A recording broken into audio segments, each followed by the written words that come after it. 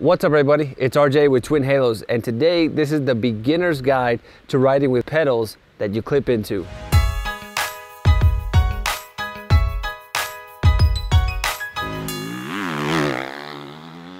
So first thing that you want to do, you want to set the bike up near a wall and practice clipping in and out of your pedals.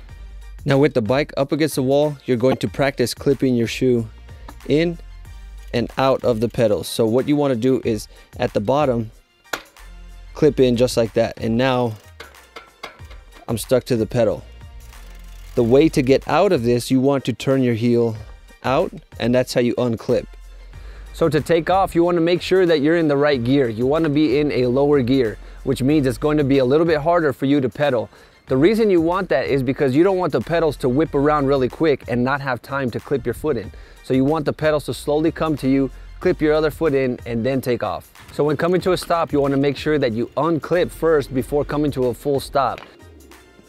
The next thing that you're gonna do, you're gonna go out, find a parking lot or an empty roadway and start practicing riding with your feet clipped into the bike.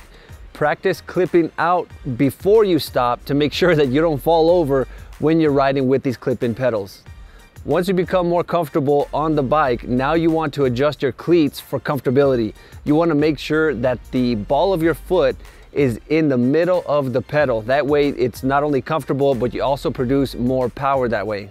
Adjust your pedals to where you find is comfortable because some people's heels stick out, some people's heels come in, and mine is right in the middle. So yours may be different.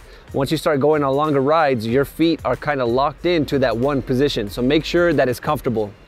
So start slow and don't freak out when you start riding. Make sure that you unclip before you do anything. And if you're using the pedals that I use, you can unclip, flip the pedals over and just ride completely unclipped. So get out there and start riding with your feet clipped into the bike. I'm RJ with Twin Halos and I'll see you guys in the next video.